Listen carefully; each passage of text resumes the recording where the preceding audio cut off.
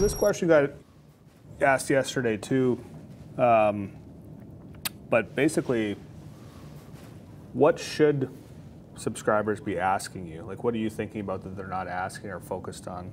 You might maybe you've kind of gone through I'd say, most of the stuff this morning already. But yeah, I mean, I've clearly I've, the, the whole the whole content platform is designed to point out things that I want you to be paying attention to. So I'm not going to come up with something else. Um, but I do I did the the observation on why TLT wasn't sized properly. That's a good observation. Uh, the other thing is Microsoft and Apple. All of a sudden, you know, from going to higher highs, that's something that maybe somebody should ask about. Hey, today, you know, remember when I said there was a particular thing at a particular time, Tesla and Apple signaling a lower high for the first time?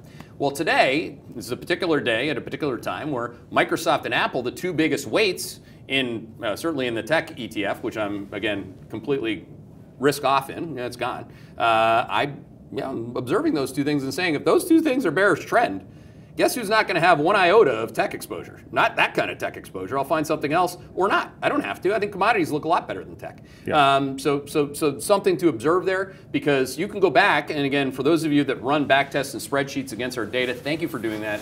Uh, basically, the people that pays a, pay us six figures and a million dollars or more a year have absolutely done that. They know that when I when something in my process changes and it stays changed, that matters. Okay, so if that were to stay that way, that is easily one of the top negative catalysts in the marketplace. People said to me yesterday, Jonesy, and maybe maybe another way to ask the question: What are your clients that you're on the phone with uh, throughout the day asking you questions on?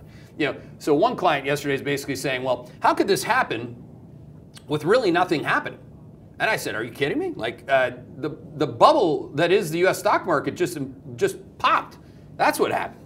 And you could see that uniquely through the lens of the volatility signals in both Microsoft and Apple. I mean, volatility of Apple I've been talking about for two weeks. It, bl- it blew out through uh, the, the top end of where it should be if you want to be along that, that security, which is in the 40s, and now it's in the 60s. You know, Apple VIX. So again, um, it's just more of a continuation of have any of those things changed. I think that when you watch TV, people are constantly ta- hearing talking points. Oh, that was thoughtful. Well, so what? I mean, that was unthoughtful. Well, so what? You know, it's where does that happen? What is the particular thing that's happening at a particular time within the entire edifice of the process, and what are you observing as a result of that? So maybe a more well, well-rounded way to answer your question.